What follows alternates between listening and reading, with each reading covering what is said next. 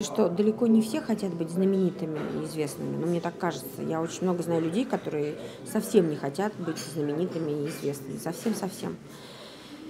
Но почему, вы знаете, я знаю, вот мне кажется, опять же, а, права я не права, но я так чувствую, мне так думается, а, мне кажется, что вообще вот люди, которые идут в актеры, э, это, ну, как бы, ну, не хочется сказать, что это какое-то отклонение, но это какой-то определенный тип психики, но это какой-то все равно определенный надлом, потому что а, желание быть все время на виду и как бы сублимировать и все время что-то вот какую-то жизнь. Это же тоже как мне кажется, что это что-то вот ну какое-то нарушение все-таки для нормального человека. Нормальный человек не должен хотеть быть артистом. Поэтому я именно так это воспринимаю, но я считаю, что вообще нормальных людей таких совсем нормальных очень мало, их почти нет.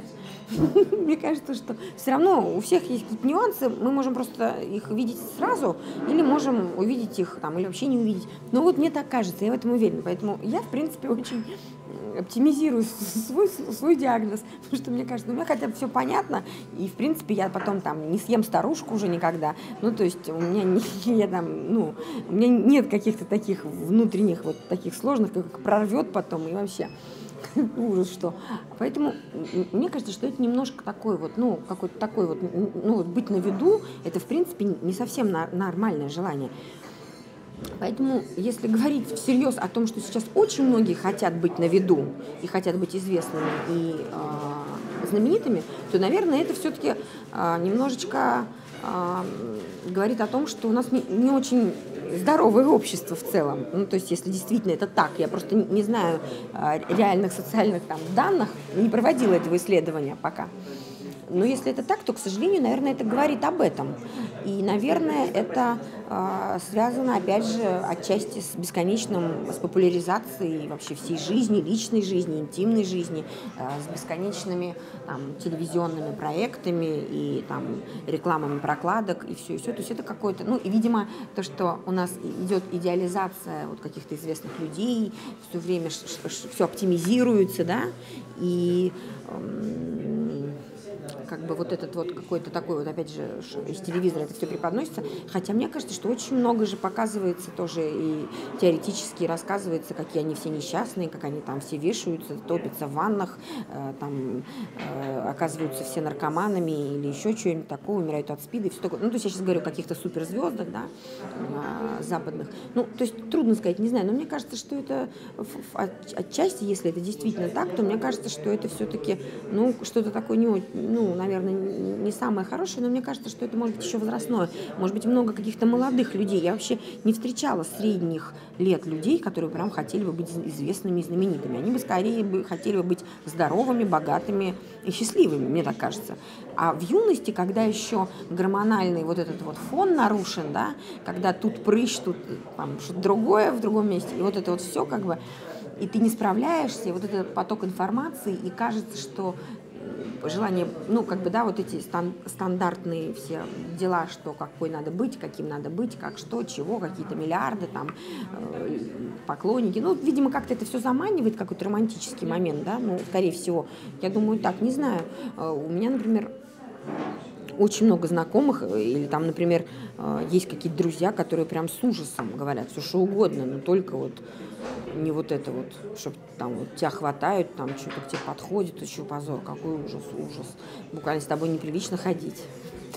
Уходи, отойди, иди там в другом месте. Потом встретимся там вот во столько-то. Я вам клянусь. Ну, правда, то есть и я могу сказать, что у меня тоже, ну, как бы по-разному я к этому отношусь. Ну, во-первых, у меня, конечно, я не Дженнифер Лопес, здравствуйте. Поэтому у меня как бы не могу сказать, что кто-то прям одолевает поклонники, влезают ко мне на четвертый этаж хрущевки. Там. Нет, нет, вот это нет проблемы у меня. Меня не поджидают, как Аллу Пугачеву в советские годы у подъезда.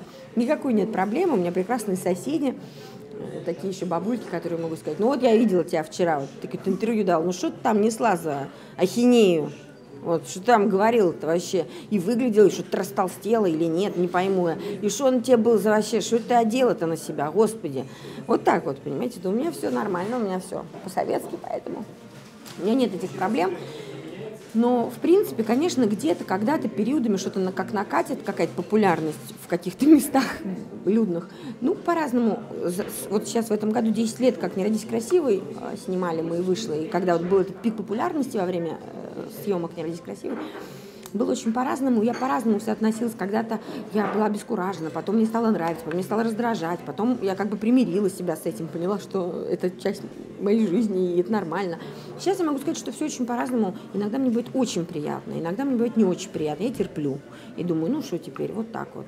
Иногда я могу дать какой-то отпор, учусь, научилась многому уже. А иногда очень приятно, к счастью, у меня, видимо, такие сериалы какие-то у меня и роли.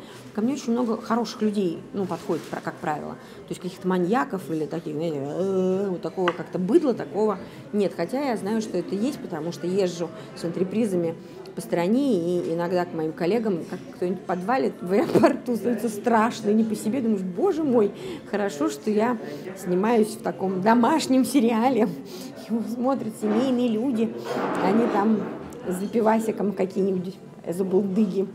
Ну, по-разному. Не знаю, мне кажется, что у меня так уже все как-то сплелось, вы знаете, а, ну, я не знаю, я не могу сказать, что мне что-то мешает, и, наверное, а, если бы мне сказали, хочешь ты быть там знаменитой, ну, конечно, когда-то в детстве, когда я хотела быть артисткой, я хотела, но я больше всего, мне кажется, даже у нас же такое советское воспитание было, все как-то было по-другому, я хотела играть каких-то героинь, там, Зою Космодемьянскую, рыдать, умирать, вот это я все хотела. Я же не думала, что я растолстею и буду сниматься в ситкомах, понимаете? Я думала, что все будет нормально, и я как бы готовила себя совсем для другого. Ну, сказать, что вот я вот хотела быть знаменитой, чтобы меня все узнавали, чтобы все падали штабелями. Вот этого у меня никогда не было фантазий таких. Поэтому я даже не знаю. Но мне кажется сейчас, что, ну, если бы, например, э, вот сказать, там, быть счастливой или знаменитой, конечно, лучше быть счастливой и здоровой, и любимой гораздо лучше, чем чтобы тебя там в ларьке все... Потом от этого выгоды очень мало потому что не поторгуешься. Я очень люблю иногда где-то за границей, где четко понимаешь, что ну, никто тебя не знает. Я люблю в смерть торговаться, там, в доодуре как-то дурить, ну, то есть, что, что так уже ты не можешь, ну, как бы все же так, дети же смотрят, уже выросли дети, там, поколение детей уже выросло, за среднюю школу уже заканчивают, там, те, которые начинали с детства. Понимаете, поэтому это уже налагает на тебя какую-то ответственность, и ты понимаешь, что вот это ты не можешь, это ты не должен, уже там не это как-то, ну, то есть как-то так, вроде как тебя немножко сковывает, ну, не сильно, иногда можно развернуться. Ну, нормально я отношусь к популярности, я не вижу никаких проблем.